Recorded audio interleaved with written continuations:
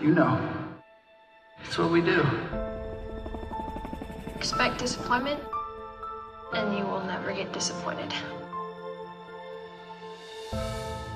Damage, destruction. You saw it with your own eyes. When will people wake up and realize that everywhere Spider Man goes,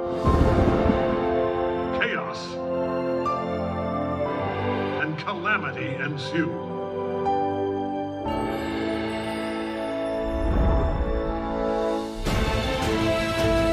You're gonna run.